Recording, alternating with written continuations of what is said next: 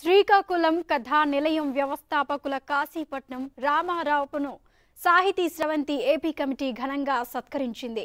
కారా మాస్టారు కథల ద్వారా చేస్తున్న సేవలు సామాజిక మార్పునకు చైతన్య స్ఫూర్తిగా నిలిచాయని సాహితీ స్రవంతి గౌరవ అధ్యక్షులు తెలకపల్లి రవి అన్నారు. రచయితలకు భావ ప్రకటన స్వేచ్ఛ లేదని మతోన్మాదులు పెచ్చుమీరుతున్నారని ఆవేదన వ్యక్తం చేశారు.